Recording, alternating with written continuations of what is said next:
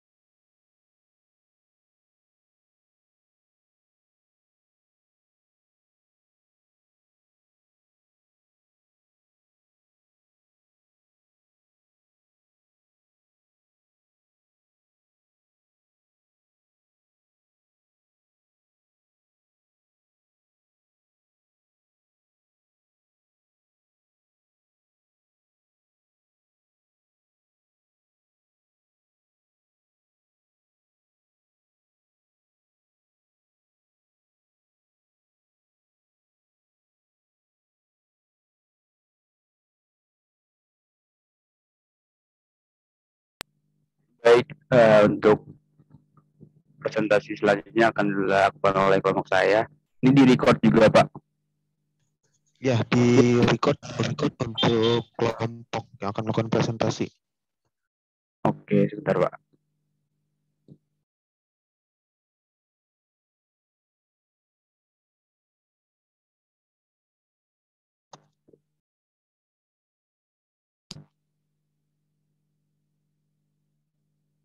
Oke, langsung dimulai aja.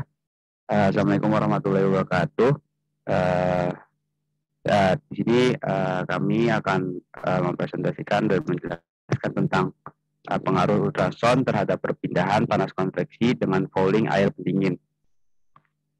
Di di sini uh, saya bersama teman saya uh, yaitu Jericho David dengan NIM 20103110095 dan saya Muhammad Alfayat 20103111088. Uh, langsung saja. Presentasinya virtual uh, ditampilkan slideshow tampilan penuh ya dari PowerPoint-nya. Oh, ini belum di kelihatannya belum penuh ya, Pak? Belum ya. Belum tampilan penuh dari PowerPoint-nya. Ditampilkan slideshow tampilan penuh untuk presentasi. Bentar, Pak. Ini udah di slideshow sih kalau di saya. Bentar, bentar. Di share ulang karena masih tampilan yang pertama tadi. Sekarang masih belum ya? Belum, masih belum. Jadi di stop dulu share-nya, kemudian ditampilkan uh, share screen ulang untuk tampilan slideshow.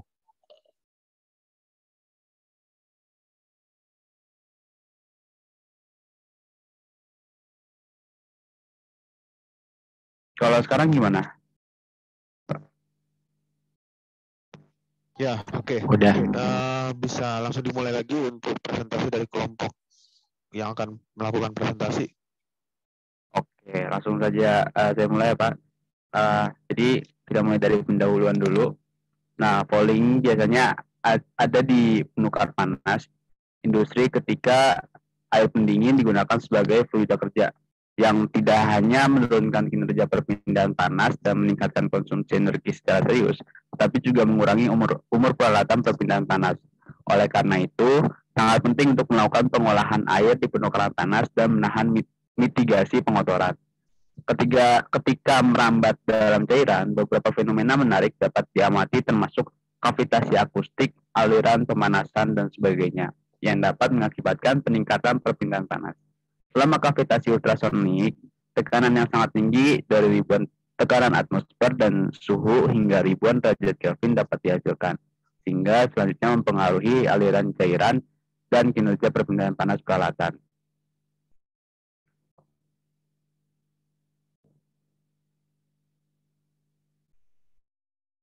Lalu ada tujuan dari uh, penelitian ini, meskipun teknologi ultrasonik telah diakui sebagai metode yang efektif untuk meningkatkan perpindahan panas, yang telah dipelajari dan diterapkan secara luas, penelitian inci dengan ultrason untuk pengolahan air, terutama di anti-fouling dan kerak penukar panas, masih jauh dari cukup dan mekanisme perawatan ultrasonik juga belum dipahami secara komprehensif. Dengan demikian, Penelitian ini dilakukan berdasarkan penyelidikan eksperimental di monitor online, tutup online tutup perpindahan panas untuk pengobatan ultrasonik. Tujuan dari penelitian ini difokuskan pada pengaruh temperatur air, kekerasan, dan frekuensi kekuatan ultrason dalam proses pengotoran penukar panas tabung tabung ganda dengan air pendingin sebagai fluida kerja. Lalu ada peralatan eksperimental sebentar uh,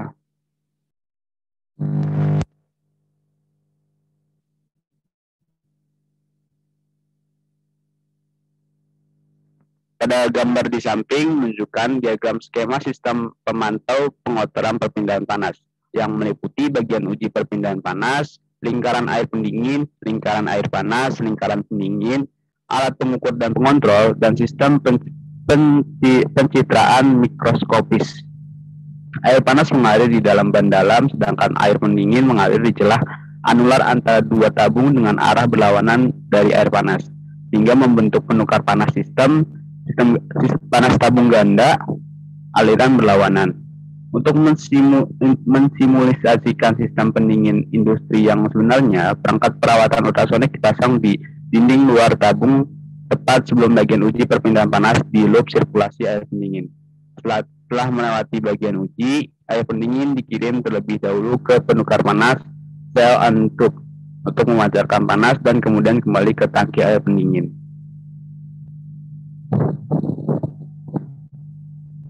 Lalu ada percobaan. Uh, yang pertama itu ada tiga pemanas listrik berdaya 5 kW di bagian bawah tangki air panas dan satu pemanas listrik berdaya 3 kW di bagian bawah tangki air pendingin. Air pendingin disuplai oleh satu set pompa panas sumber tanah dan menyerap panas dari air pendingin di penukar panas sel and tube dan kemudian kembali ke pompa panas untuk didinginkan. Sebuah controller daya digunakan untuk mengatur kekuatan pemanas listrik dalam tangki air panas sehingga panas suhu inlet air pada bagian tes terus konstan. Berfluktuasi tidak lebih dari 0,1 Celcius Nah, yang kedua itu ada sebelum percobaan formal lemari es pertama-tamanya dinyalakan dan kemudian air pendingin dari air panas disirkulasikan. Temperatur saluran masuk dan laju aliran untuk air panas dan air pendingin disesuaikan secara individual dengan nilai yang diberikan. Selama proses percobaan, semua data suhu dan laju aliran dapat direkam secara otomatis oleh sistem aku, ak, akuisisi, kemudian beberapa parameter penting yaitu koefisien perpindahan panas, perpindahan panas keseluruhan, resistensi fouling, dan laju anti fouling dapat dihitung sebagai berikut.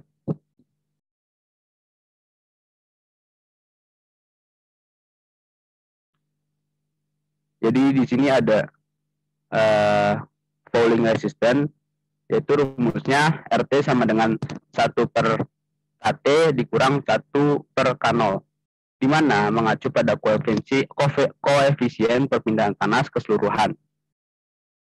W per M kuadrat dikali K. Lalu T adalah untuk keadaan pengotoran dan 0 untuk keadaan bersih dari permukaan perpindahan panas masing-masing. Lalu ada overall heat transfer koefisien, rumusnya itu K sama dengan Q per A delta TM di mana Q adalah laju panas yang diperoleh oleh air pendingin. W di sini maksudnya A adalah luas perpindahan panas yaitu M kuadrat dan T adalah rata-rata perpindahan suhu. dan laju perpindahan panas dihitung dihitung dari dihitung dari mana? Ya pokoknya dihitung dari yang telah ditentukan pada rumus ini. Nah, lalu ada anti-fouling rate.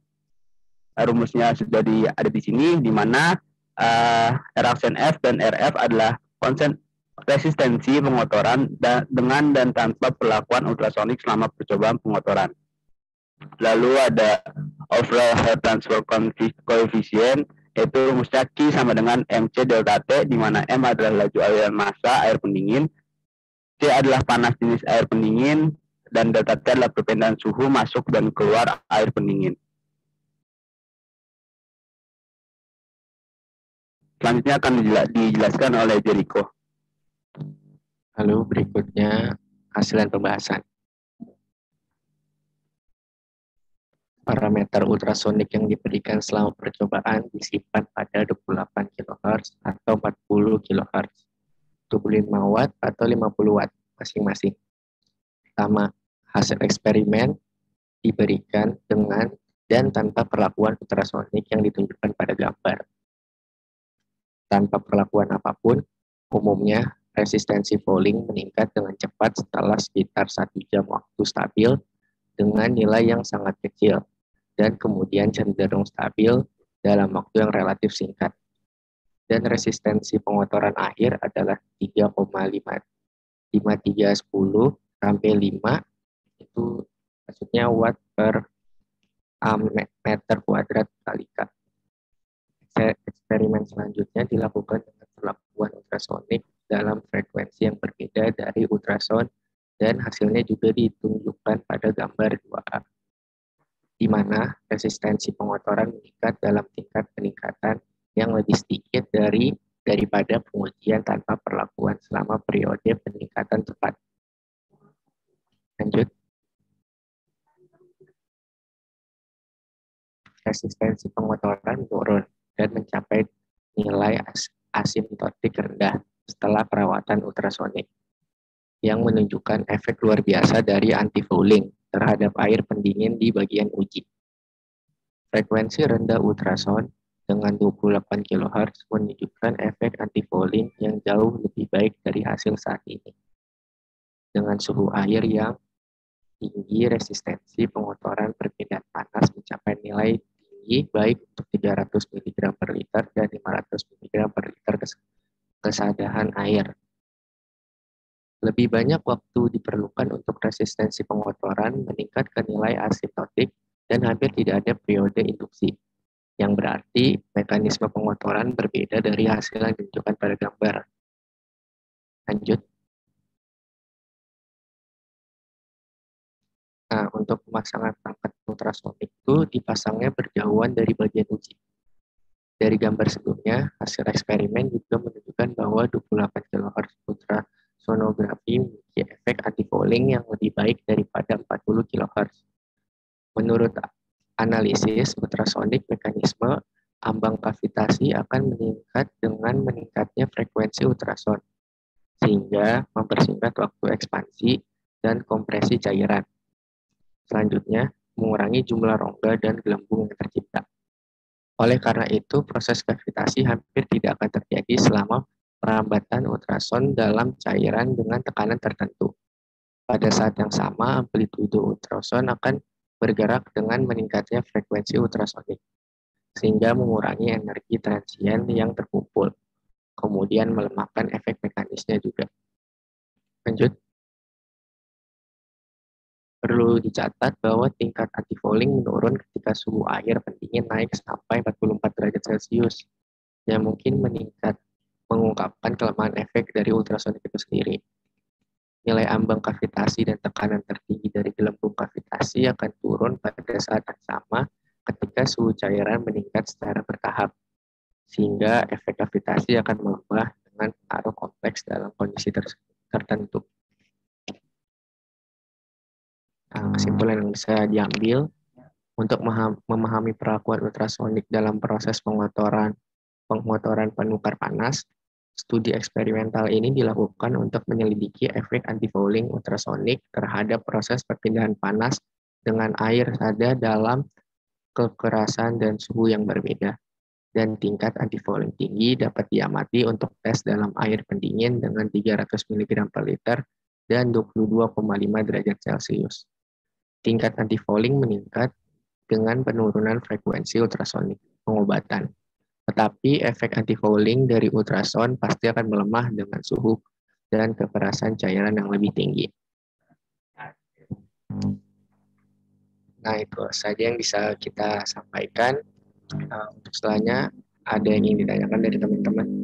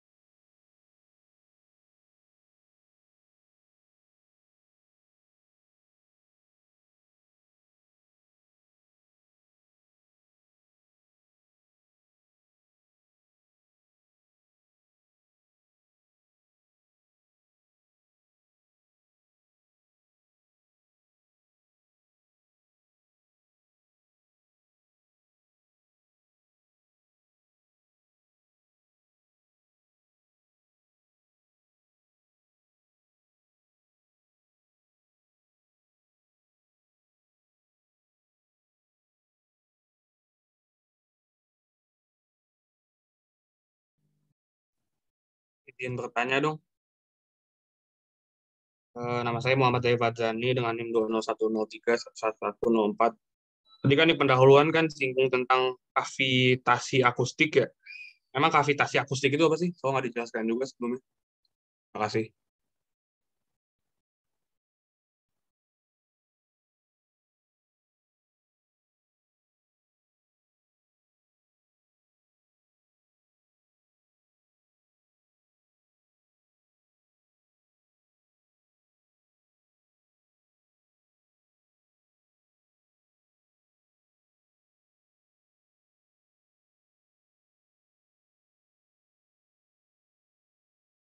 Ada, ada lagi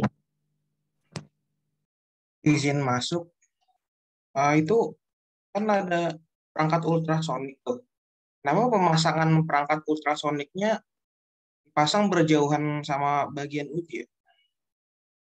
Itu aja sih. Terima kasih.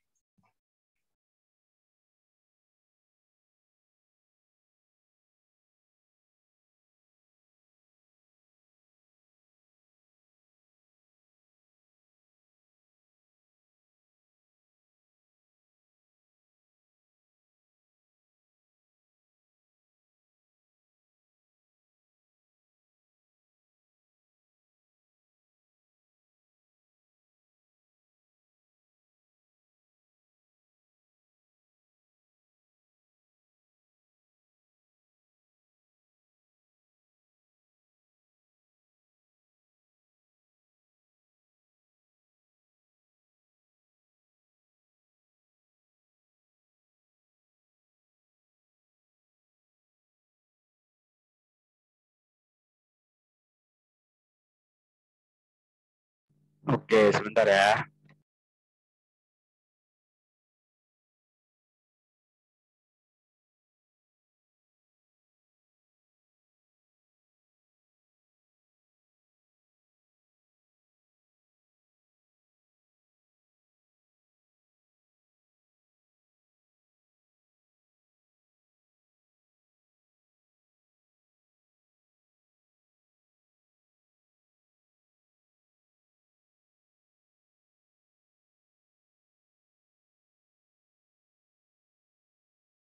Oke, eh, saya akan mencoba menjawab pertanyaan dari Farhan tentang kenapa tingkat anti fouling menurun ketika suhu air pendingin naik. Eh, ya, jadi eh, tingkat anti fouling menurun itu karena saat saat suhu air pendingin tinggi atau naik, kristal pengotoran itu akan lebih banyak terbentuk dan tersuspensi. Eh, dan efek anti fouling akan melemah ketika ultrason bertransmisi di dalam air dengan suhu yang relatif tinggi atau uh, tinggi, relatif tinggi atau naik. Jadi gitu Farhan jawabannya. Kenapa tingkat antifoldingnya menurun ketika suhu air tinggi naik?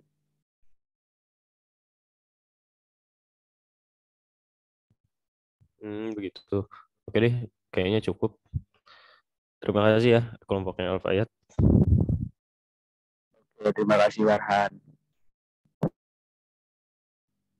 Uh, uh, saya akan menjawab pertanyaan kedua yang ditanyakan oleh Teiva.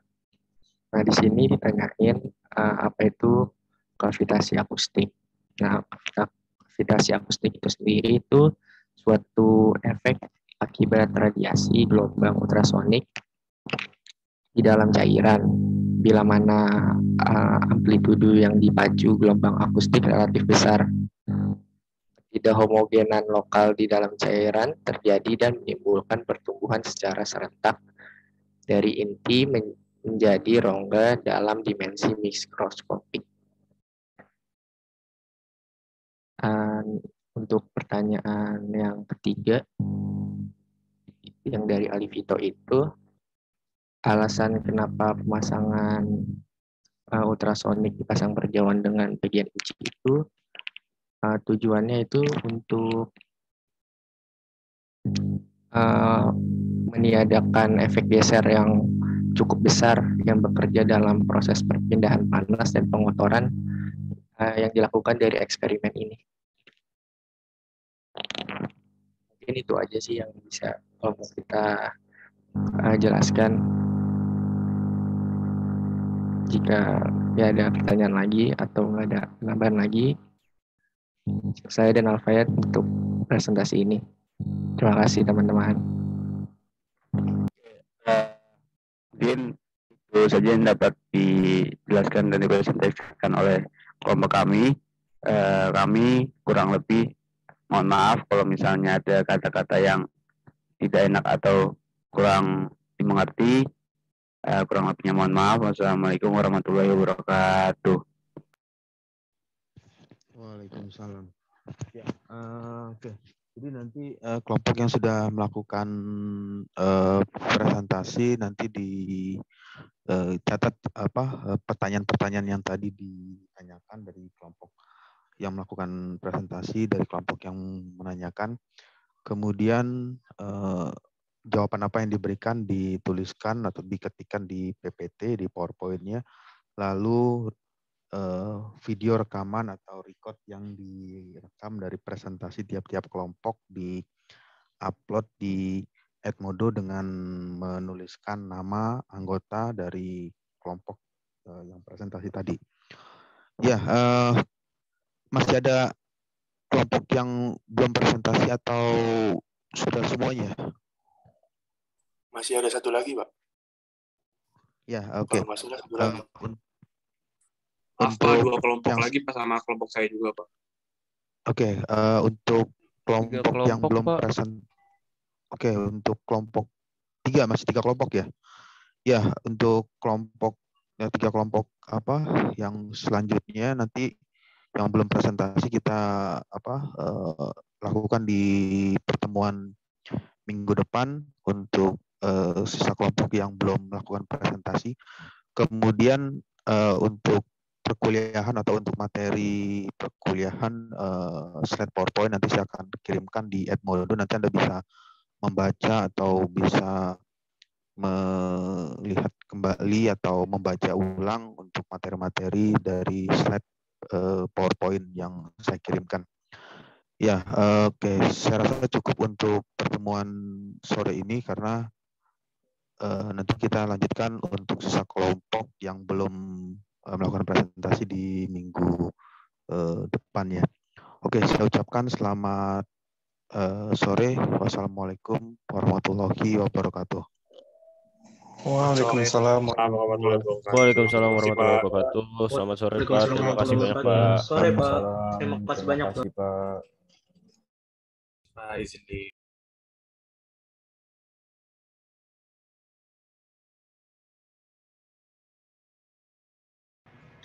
Izin lah Pak.